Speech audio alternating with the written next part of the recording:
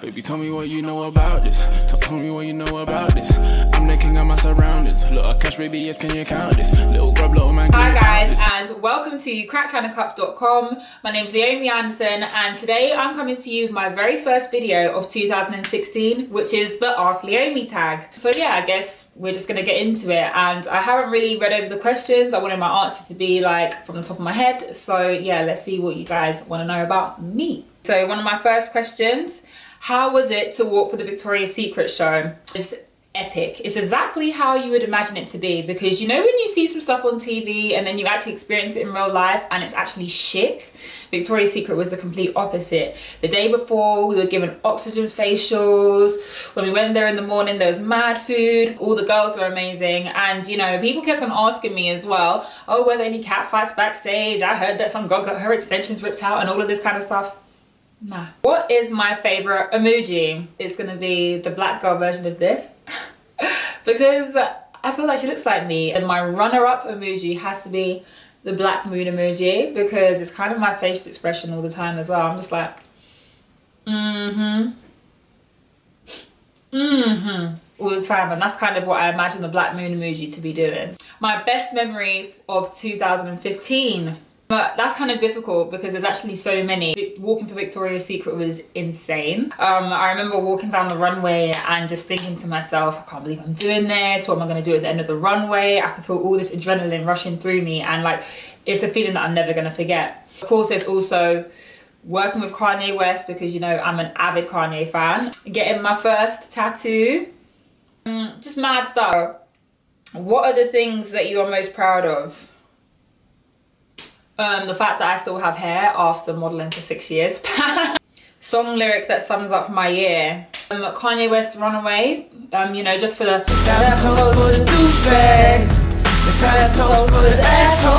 Manel Bailey, I see you. You always ask me this question. Would I move back to London permanently?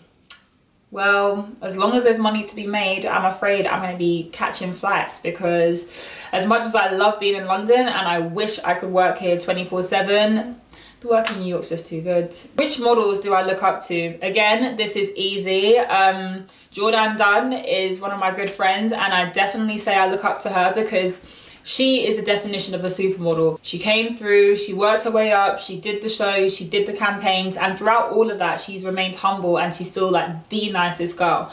That is why she is someone that I look up to and who has earned the title of supermodel. Aww. Favorite eyebrow shape? The normal ones all this skin fade eyebrow that girls are doing, all this arch here, fleeky that, not into it, not my thing. Sorry if you're there holding your eyebrows like this bitch is bare rude, but I'm sorry, I don't really like all that one one millimeter between your brows faded. Look, mad drag queen not even being rude. Obviously i get it. That's kind of the makeup look nowadays but me personally i just like you know just a little bit of filling in i like rihanna's eyebrows. There you go. Rihanna's eyebrows are like my favorite kind of eyebrows. And obviously my own.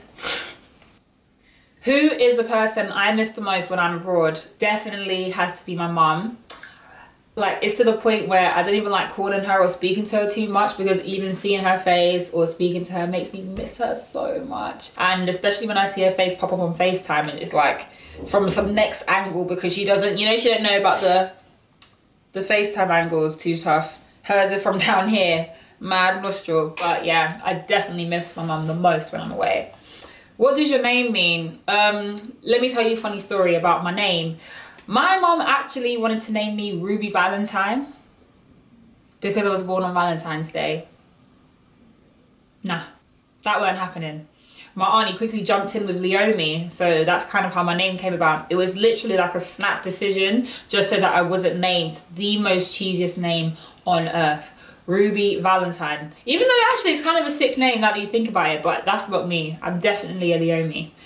Um, so it doesn't really have a meaning as such, but um, let's just say it means adventurous, spontaneous, last minute, because that's literally how my name came about. What advice would you give to young girls who want to be a model? Don't do it, run away. No, I'm joking. Um, definitely to build a tough skin and, you know, don't take any criticism or rejection too much to heart, you know. Um, In fact, if you can't handle criticism and rejection, I would definitely say modeling is not for you because it happens and it happens a lot. It's actually just part of the job. There's no way of avoiding it. Even if you're the most beautiful, there's going to be someone who doesn't want you. No one is too nice looking for a no. Amani's question is, how did you end up with such a good friend like E? Well, basically, if you don't know, one of my best friends is E Money Mons. and I've been friends with her since year seven pretty much. She got moved out of my tutor because she was too naughty, so then we didn't really talk then. And then, I don't know, we just eventually became friends and now we're just, yeah, so yeah, that's my right hand right there. So that's how I became friends with E. Everybody needs a friend like her, by the way. Hmm, which language would I like to learn? I'd probably like to learn either French or Spanish, but only French because when I'm there, I know for a fact that people are saying mad rude stuff about me, but I just don't understand. And I would love to just turn around and be like, firm the motherfucking bullshit. I understand everything that you were saying, blah, blah, blah, blah, blah. But that's not really a good reason to want to learn a language. So, firm the motherfucking bush, motherfucker. Biggest pet hate. Ooh. I have a couple of these, so let me just reel them off. Nail biting. People with mad flaky scalps. I've seen people with some really dusty looking weaves and I can see like some shit going on in there and it makes me want to be sick. People who eat bananas on public transport. People who just don't mind their own business. See me? I'm not really bothered about what anybody else is doing. I'm hearing that people are caring about my life extra hard. I'm just thinking, what is your problem? What's your favorite thing to do when you want to unwind and relax? I don't think I can tell you. I think, you know, you have to be old enough to know what people do when they want to relax and they're with their bae. Don't show your parents this. Don't tell them I just said that. I like to shop. Like if you just gave me a laptop, some snacks, Netflix on in the background, preferably Bob's Burgers, and then, you know, Farfetch or something in front of me or, you know, Net-a-Porter, whatever. That's me. I'm relaxed. I'm cooling. Freshly shaved legs, fresh sheets, but as long as I'm online shopping, I feel good. Ooh, have you ever thought about what you want to do after modeling or maybe using modeling to achieve said goal? Well, actually, that's another thing that I really hope, you know, starts formulating in the pipeline for 2016. I want to be a TV presenter.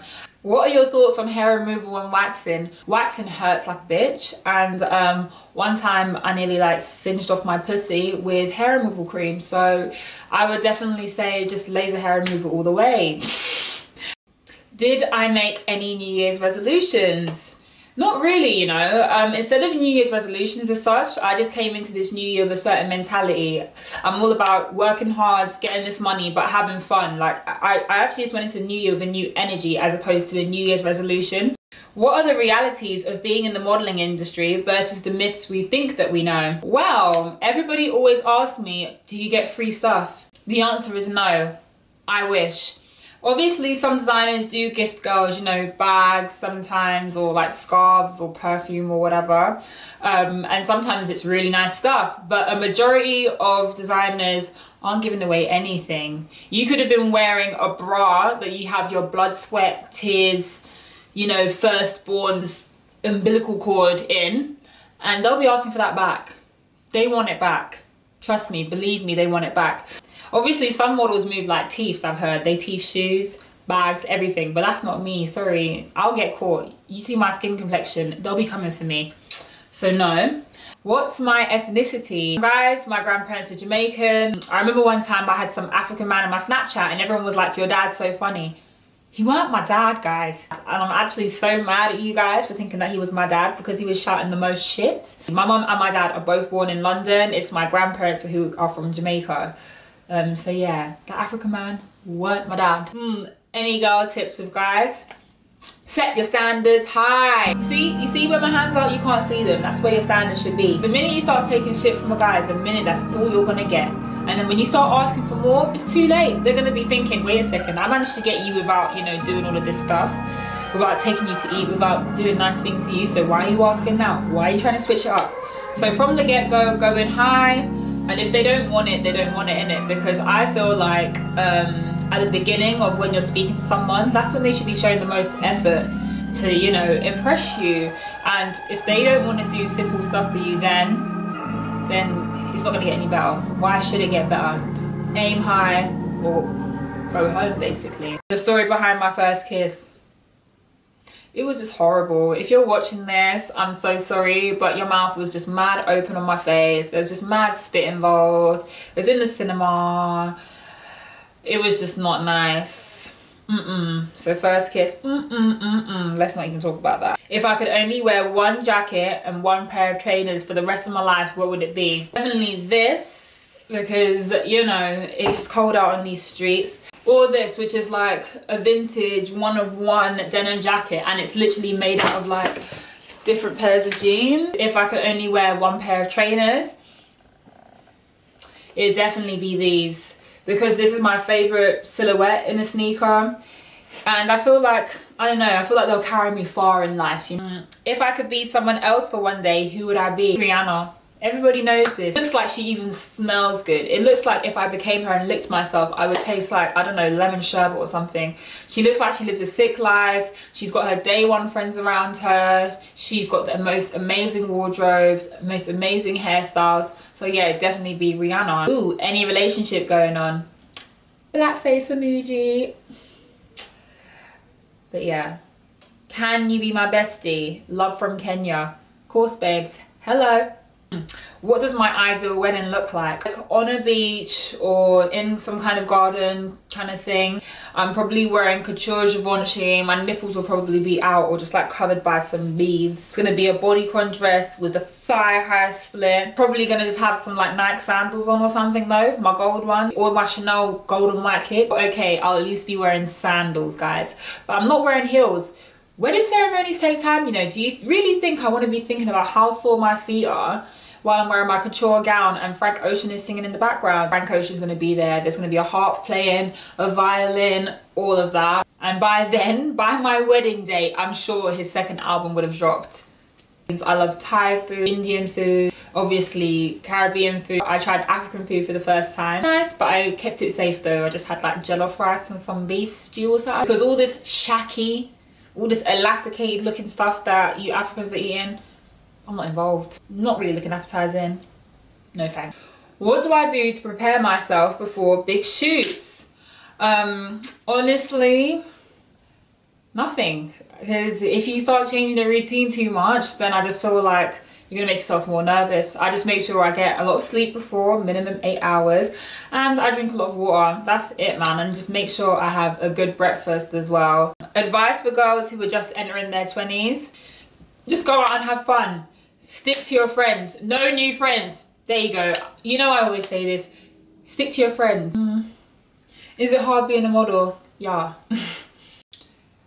um, everyone keeps on asking me about my skincare routine. Um, it's on my YouTube channel. Mm. What are my favorite snacks? Salt and sweet popcorn, crunchy bars, anything caramel. I love caramel. If there was a bath of caramel, I would just dive into it.